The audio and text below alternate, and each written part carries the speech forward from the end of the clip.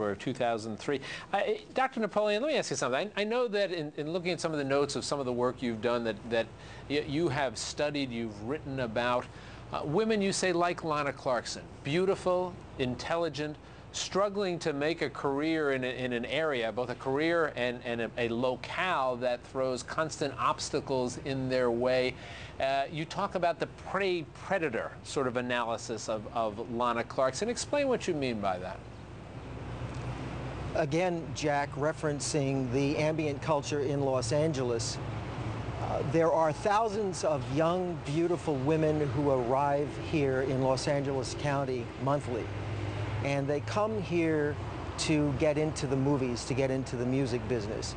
Uh, they are met by both legitimate producers and directors and movers and shakers, in addition to a cottage industry of individuals who prey upon these persons. Now, when Lana got here in the 70s, she uh, undoubtedly experienced what I just described.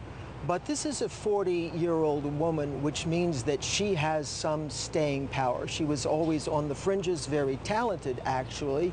However, never quite made it big.